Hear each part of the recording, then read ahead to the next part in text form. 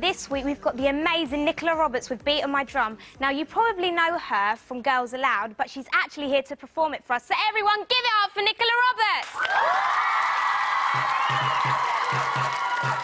Roberts!